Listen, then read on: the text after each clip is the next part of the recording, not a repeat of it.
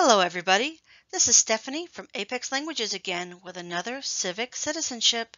Remember, all the questions I ask throughout these videos, shown with quotation marks, are official questions from the USCIS Naturalization Civics Test. For more information about that process or the tests, check out the link I provided here. Today, we're going to learn about the branches of government. What do I mean by branch? Well, look at this tree. You have a trunk, the thick part at the bottom, which divides into smaller sections as the tree grows. Those smaller sections may divide several times into still smaller and smaller parts, eventually sprouting leaves all over. Those sections or parts are the branches. This word is also often used metaphorically to talk about things that are not trees, including government. In the United States, our government is divided into three main branches, which, like with a tree, are then divided into smaller and smaller departments. But all you have to worry about now are the three big ones. So try and answer this official USCIS question for me. Name one branch or part of the government. As you can see in the text, you only have to know one. But I'm going to give you all three branches now. They are the legislative branch, judicial branch, and executive branch. Repeat them with me. Legislative, legislative, judicial, judicial, executive, executive. What do they actually do? Well, legislative comes from Latin lex legis, the word for law.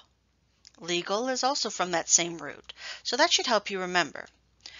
The legislative branch makes laws. They write them up and try to vote them into existence. The judicial branch, on the other hand, looks at existing laws, compares them to related ones, considers new evidence, and ultimately judges whether the laws are legal. Should they be allowed to exist, or do they conflict, go against, older rulings? Most importantly, the Constitution. Finally, the executive branch executes the law. And by this, I don't mean they kill anyone, although that is the most common use of that verb nowadays.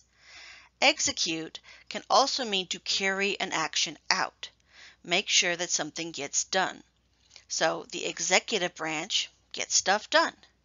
It's in charge of education, transportation, immigration, a little bit of everything. So, again, legislative, judicial, executive. These are the formal names of the branches of government.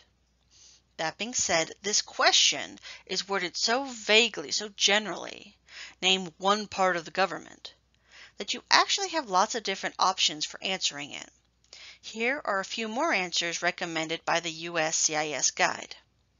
Congress, okay, that's what we call the, the, the legislative branch, another word for it. The courts, the judicial branch is made of, of legal courts. And then the president is the head of the executive branch. So these are all good answers for this question. So let's explore a little more deeply. Keep in mind that I will eventually create separate videos for each of these branches. There are a lot of questions about each. There's a lot to know. But for now, a general rundown will help you understand the basics of how our government operates and in turn explain some of the things you hear in the news every day. Your next question is, who makes federal laws?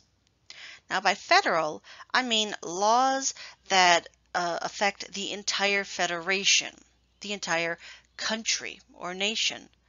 Okay, so this is different than state laws or local laws, which will be the subject of my next video. Okay, so who makes federal laws? Who is in Washington, D.C.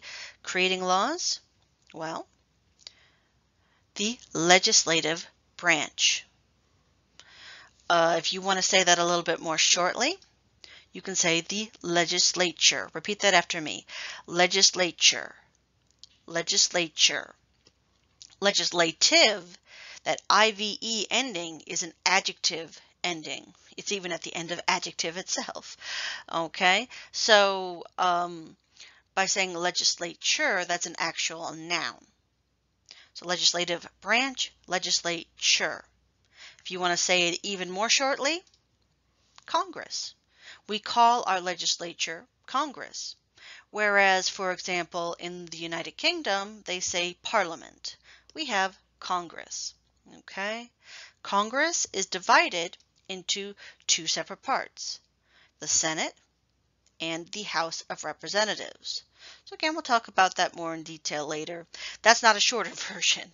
so that is a more complete answer, but if you just want to say Congress or the legislator, um, that'll be fine. Here's another question for you. Who is in charge of the executive branch? I actually already gave you the answer to this one, so let's see if you were paying attention. The President. The President is not the only person in the executive branch, not by a long shot, but he is the most famous, for better or worse. He represents the entire section and is ultimately responsible for making sure that everyone else is doing their job. That's a lot of responsibility. Moving on to a new question. Who signs bills to become laws? Well, we know that the legislature creates laws technically called bills until they are official.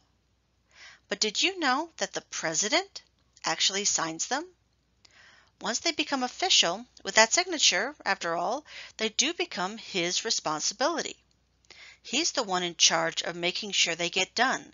So this is an important, if symbolic, gesture of responsibility being passed from one department to the next. How about this question? Who vetoes laws. First of all, what is a veto? Kind of important, right? Well, it's basically a rejection. When Congress approves a bill, they pass it on to the president to sign into law, right? But he also has the right to veto it, saying no, that he does not want it to become official. This doesn't mean that the bill is completely defeated. It goes back through Congress and can be voted on again and eventually approved, but it does make life much more difficult for those involved. Many bills that are vetoed do not survive the process. This power is just one more way of balancing the branches, giving the executive branch a say in what it will be enforcing. Here's another question. And the answer couldn't possibly be the president again, right? Who is the commander in chief of the military? Okay, I lied. It is the president. Wow, that is a lot of power, isn't it? It means that a man in this position can do a lot of good or a lot of damage. The beauty of the three branch system, however, is that there are many powers he does not have. The president is not all powerful. We call this checks and balances and it is what's made our system work so well for so many years. About 230 years old, it is one of, if not the, oldest governments still in operation today. Finally, one last question for you. What does the judicial branch do? Well, the court system reviews laws, explains laws, and very importantly, resolves disputes. That means that if two parties are fighting or arguing, they can't agree on whether something should be legal or not, the judicial branch gets to make that decision. Those judges have the final word. No one in Congress, nor even the President, can ignore their decision. The biggest judgments usually revolve around deciding whether a law goes against the Constitution, the supreme law of the land. You'll need to know that for another question. To put it another way, they decide if a law is unconstitutional or not. All right, practice makes perfect. Name the three branches of the federal government. One last time, let's make sure you got all three of them. They are the legislative, judicial, and executive branches. Got all that? Good.